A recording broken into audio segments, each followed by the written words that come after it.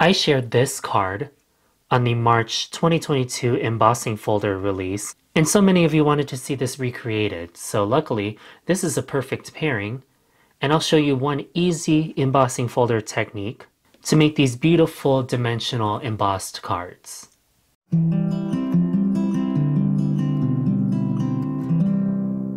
So to make this card, it was sort of my response to the die cut inlay technique.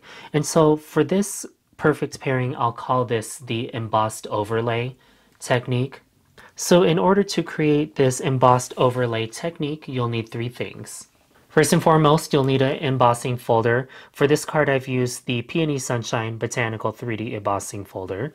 You'll need a die with a large surface area. I use the CAPS Bold Alphabet die set. And lastly, you'll need an ink of any kind. So I use the Red Sunset family of mixed media inks to create my original card.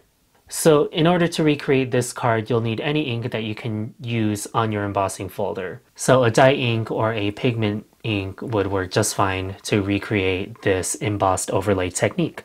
Now I won't create this card exactly, but I'll replicate it to show you a, maybe a different occasion if you're not looking for a Mother's Day card, for example. So first I'll work with the Peony Sunshine embossing folder. In my opinion, some of the best results I get from embossing folders come from lighter weight cardstocks. So here I have an 80 pound cardstock. Typically I'll craft on a 110 pound cardstock weight. So first and foremost, I'll pick an orientation for my white cardstock. And I'm just doing that by looking through my embossing folder. And then I'll use the fine mister bottle, I've got water in this one, to just give me a light layer to moisten the cardstock. And this just helps preserve a lot of the detail when running this through your die cutting machine, following your embossing folder sandwich. And that's a Janos Makula hack for getting really great impressions on embossing folders. Now that my cardstock has the impression of the Peony Sunshine 3D embossing folder, I'm just going to remove it for a second and do an embossing folder inking technique on the text side of my embossing folder. Now, as I mentioned previously, I use the Red Sunset family of inks for my Mother's Day card. In this one, I'll switch it up a little bit and I'll use the Summer Afternoon family of inks. And I'll start with my lightest layer first on my 3D embossing folder. And I'm doing a light layer of this on my embossing folder, trying to capture the high points of the text side of my embossing folder.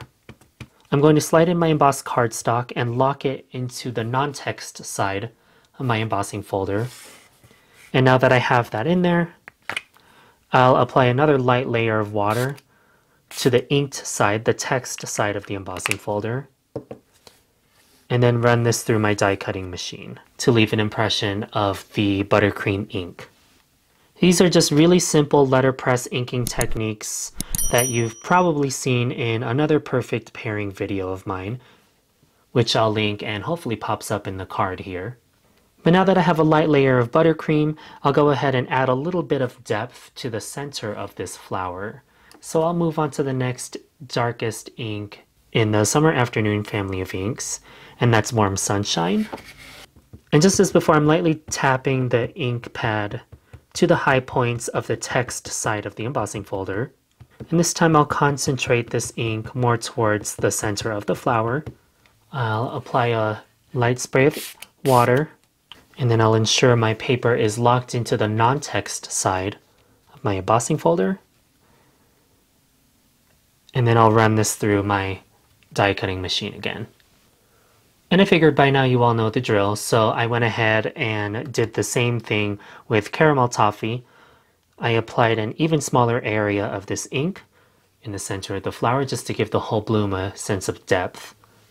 And this cardstock is still kind of wet, so what I'll do is set this aside to dry, and I'll work on the die cut letter element to this card. With the CAPS bold alphabet die, I decided to spell the word U, Y-O-U, with the set of dies. And with these letter dies, I know they'll fit in the center of my Peony Sunshine embossed panel. With my previous card, I went for a tone-on-tone -tone look, And I'll do the same thing with this set of inks. So I have the Summer Afternoon Mixed Media inks. I'll also use the Summer Afternoon Gradient Cardstock set, just for that nice little subtlety, but definitely a wow factor with the tone-on-tone -tone effect. And with the lightest cardstock in the Summer Afternoon set, so Buttercream, I went ahead and die cut the word U using my caps bold alphabet dies. And hopefully you haven't put away your embossing folder yet, so you'll bring this back out for this next step, and this is where the embossed overlay comes into play. So I've locked my embossed panel onto the non-text side of my 3D embossing folder, just as if I was going to ink up the text side again. Now I'm picking the final orientation of where I want my die cut letters to go. So I'm using a T-scale ruler to make sure that everything is lined up properly. And I don't want to run all this paper through my embossing folder. So what I'm going to do is make a hinge using my Altenew satin tape. And what I'm doing is connecting all the letters with the Altenew satin tape, but also making a hinge for myself off the side here. So I can lift these letters up,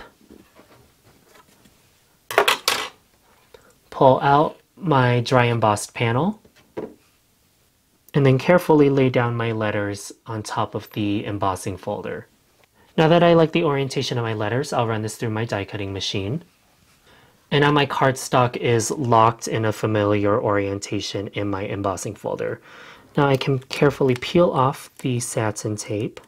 And now that my letters are embossed, I can lock them back into the non-text side of my embossing folder into their familiar orientation.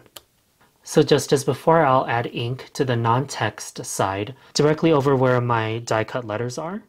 And I'll use Warm Sunshine, the next darkest value in comparison to my buttercream cardstock. And I'll do a heavier application of this ink onto the text side of my embossing folder. So now that I have adequate coverage, I'll run this through my die cutting machine with the Warm Sunshine ink. So that's the first layer with warm sunshine. I'll do a little gradient now that I know based on the mirror side where this ink will fall. So I'll use caramel toffee and I'll apply this on the bottom half of the letters. And I haven't touched my letters so they're still locked in place. And I'll run this through my die cutting machine just like this with caramel toffee now on the text side. And now I'll wait for the letters to dry while I work on other elements to my card. To complete the U sentiment that I've been working on, I figured I'd use the Craft Your Life project kit in Dynamic Blossoms, and I'm going to complete the sentiment with the you are amazing. To keep the single tone theme going along, I'll stamp this on a panel of white cardstock and make a little sentiment strip using the Summer Afternoon family of inks. So I'll stamp this sentiment in caramel toffee. So here are the three elements to complete this card. Here is the Peony Sunshine embossed panel, my embossed letters, and then finally my little sentiment strip to complete the You Are Amazing sentiment.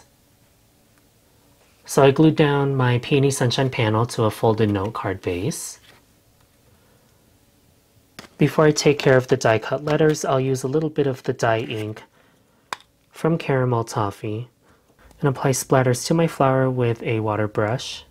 Depending on your wants, you can glue down your letters directly over your embossed panel for a much more subtle effect, but I really like the way my letters look with a little bit of dimension. So since there's a lot of real estate on these letters, I can use the Instant Dimension foam tape and use it to really separate the sentiment from the background.